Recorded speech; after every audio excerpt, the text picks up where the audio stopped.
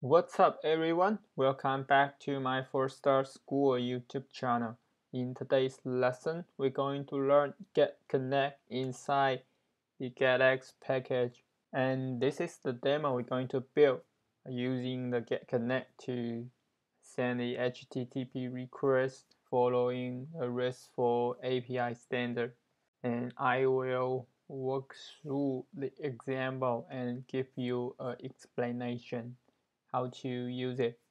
Although we were using the Dio package in our real development, but since GetX provides this feature that you make a RESTful API communication, so I will just briefly talk about this. And if you are new to my channel, feel free to reach out to my channel page and you will find Flutter UI from scratch tutorial Flutter GetX tutorial, Flutter tutorial, and Dart programming language tutorial. So don't forget to subscribe to my channel, thumb up my content, and open the notification so you won't miss out the latest Flutter tutorial. Okay, without further ado, let's get started. Okay, let's open our Visual Studio Code and Engine Emulator. As you see, here I wrote the code before today's lesson and I will guide you through with these examples and give you an explanation. So first let's look into the user example to start. This will be our main chain point for this application. As you see in this build method, I only uh, set up it is home attribute which will return our uh, user view. And another one is I initiate it is binding and I pass the user binding for this user view. And let's look into this user binding. So in the user binding I first initialize the user provider using this uh, get lazy put. And then I lazy initialize the user controller by passing this user provider. As you see, I'm using this get.find and you will find my user provider. So let's back to this my map and the user provider in this example, you will provide the RESTful API communication to your backend. So back to the Visual Studio Code and let's look into the user provider. So in the user provider, I extend the get connect, which is the today's topic, and I can do some uh, custom configuration inside the user provider. As you see, uh, we have this onInit method, which would run when we initiate our user provider and we can configure it is a basic URL or a default decoder. And sometimes you can also uh, set that it is a request a modifier or response modifier. So let's back to Visual Studio Code. And then we have this get a list of user method which we'll call this get request for our API slash user and it will concat this URL with our base URL so you will see a, a list of user after we call this get user method and that's for our user provider. So let's look into our user controller. So in the user controller we extend the getX controller also we using this StateMixin and I will talk about this StateMixin later. So first we have this user provider attribute and we pass from it is constructor. And in this user controller uh, init method we're using this fetched all user right?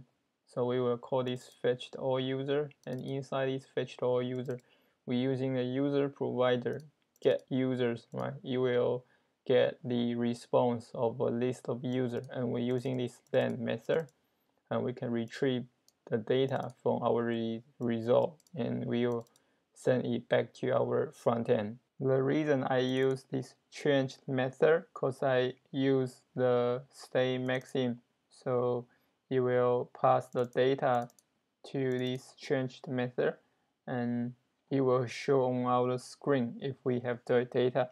Otherwise it will show the error. And this will combine with this user view. And we have a controller.obx and we can access the state and we can uh, render the user information on the screen. So initially uh, you will show the uh, circular progress indicator so when I restart our application so first you will see a circular indicator which means we are fetching the data from our backend. And you see after a few seconds the list of user information listed out on our screen means we successful uh, get the user data back in this way. So we will get the user data back and we set this data to our changed method and in indicate we have a new state right? So we can get the state in here.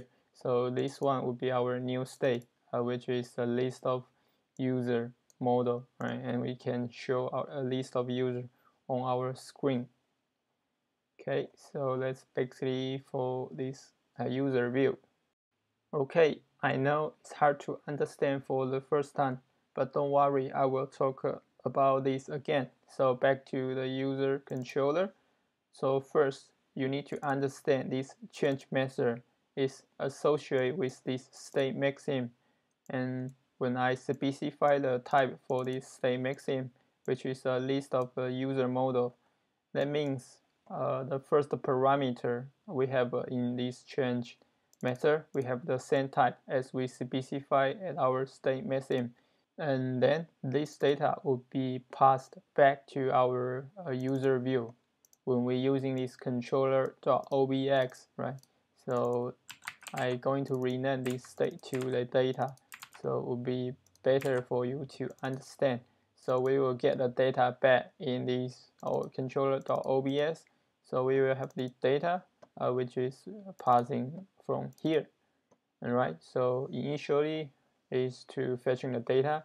So you will sh show this uh, circular progress indicator. Unless we have data back we'll render a list of view contains a list of a user pro profile as you see here right? So for example I'm going to change the URL in our base URL so I change to something uh, no exist right? So I save I'm going to restart our application. And in this time you will see this error message.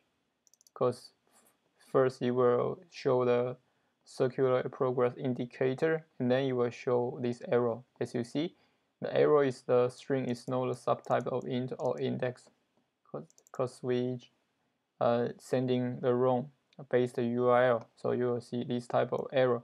So you will not call this one you will not trigger this one this one will only trigger when you successful get the data back. So I'm going to change the user provider and we change to correct URL and we save again and we restart our application.